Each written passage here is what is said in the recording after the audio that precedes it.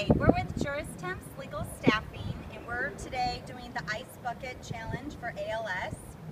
We hereby challenge our clients as well as the Mayor of Clayton, Harold, Harold Sanger, Sanger. and we will be doing the Ice Bucket Challenge as well as contributing money to the ALS Association.